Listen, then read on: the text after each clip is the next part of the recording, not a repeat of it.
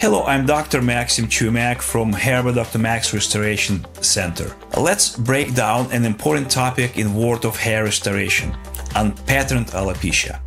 When we talk about hair loss, we can divide hair loss into two main categories, patterned and unpatterned alopecia. While you might be familiar with male or female pattern baldness, this is focusing on unpatterned variety. So, what exactly is unpatterned alopecia?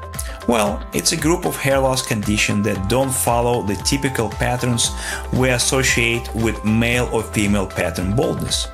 Instead of DHT damage to hair follicles over time, unpatterned alopecia can have a variety of causes. Unpatterned alopecia presents itself in many different ways.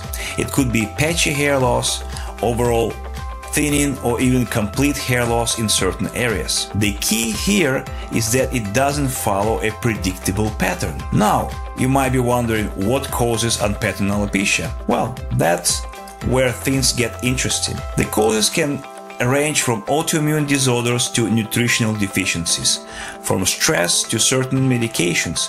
Each case is unique, which is why professional diagnosis is important. If you are experiencing any unusual hair loss, it's crucial to consult with a hair specialist who can help determine the specific type of alopecia you're dealing with and recommend the most effective treatment options. Early detection and treatment can make a big difference, so don't hesitate to reach out to us at Hair by Dr. Max Restoration Center if you have any concerns about your hair health.